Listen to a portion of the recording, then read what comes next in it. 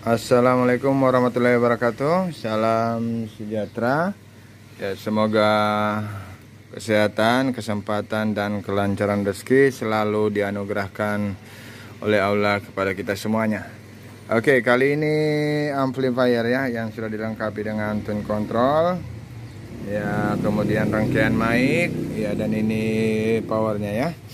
Ya mengalami kerusakan bunyi sebelah ya Dan uh, sebelahnya yang bermasalah jika kita pasang kabel speaker terjadi bunga api ya.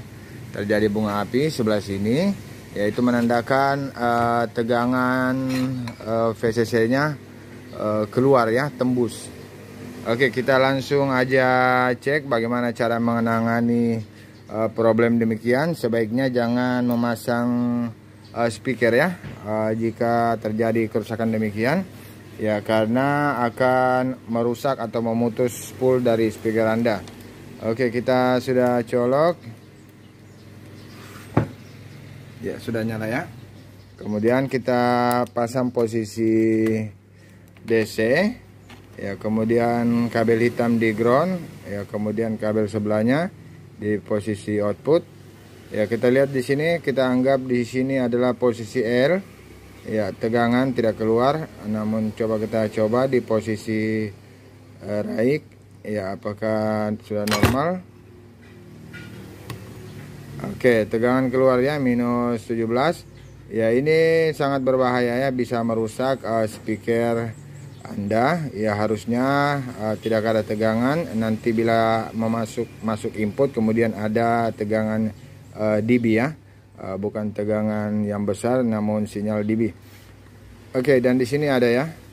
Dan inilah sebelah kanan ini yang rusak bisa memutus speaker ya. Jika dipasang speaker akan terjadi bunga api.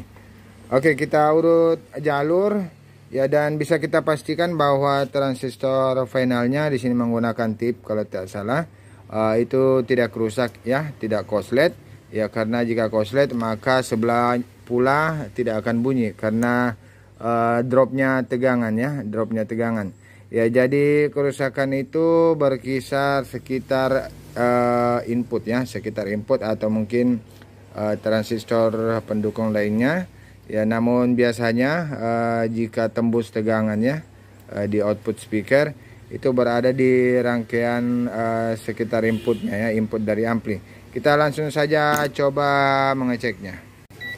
Ya kembali setelah pengecekan Ya ternyata dari seluruh komponen yang kita cek ya kita mendapati dan benar sekali bahwa berada di jalur uh, input ya di sini input ditandai dengan elko ya kemudian ada resistor transistor.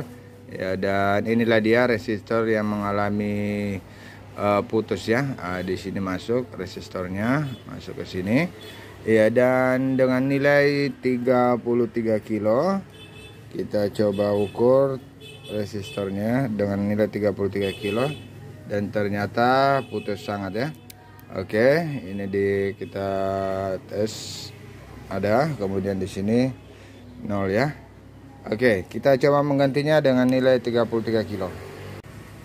Lanjut kita lanjut uh, mengujinya dengan menggunakan speaker Ya, mesin ini sudah kita lepas ya hubungan dengan tune control, tidak masalah. Yang penting di power amplifiernya kita mengetahui di mana letak input ya. Oke, di sini kita sudah uh, pasang speaker dan kita coba uji di inputnya ya. Oke, sudah normal ya. Dan kita akan memasang di unitnya. Ya setelah pemasangan pada unitnya kita uji ya dengan memegang input. Oke berhasil ya. Karena kita lihat. Dan kita pegang inputnya Dan sukses. Demikian jangan lupa like, subscribe, comment, and share. Assalamualaikum warahmatullahi wabarakatuh. Salam sejahtera